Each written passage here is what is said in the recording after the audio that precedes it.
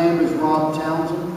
I ran four years ago because I thought it was the right thing to do, and I think it's still the right thing to do. Is my wife and uh, my daughter in there? I see them standing.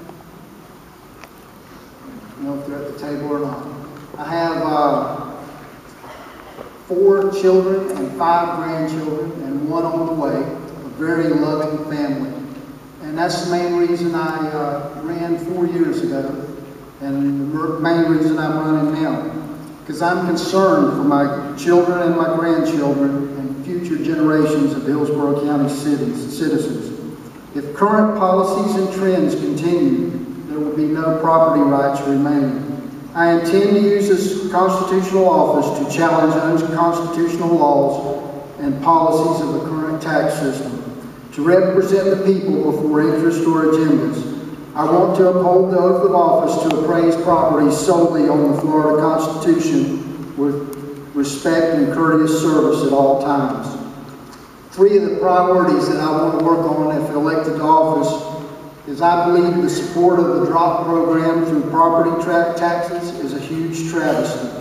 I will lobby for a 16 board, 16 member board to direct where the state of Florida retirement monies so as uh, we wouldn't have to have a program like the drop of again. The loss of the Enron, the retirement system in Enron, and the loss of the money that when Lehman Brothers went broke is a catastrophe.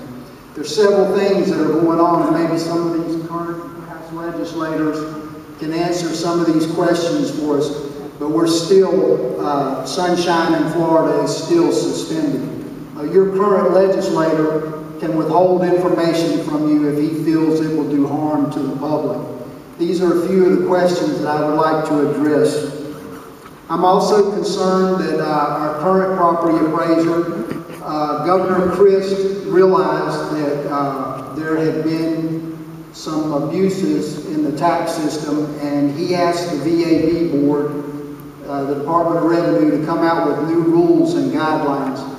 Mr. Turner sued the Department of Revenue and won on a technicality because the DOR and the legislation had failed to uh, uh, put a penalty by it. He, he won because it was called an unpromulgated rule.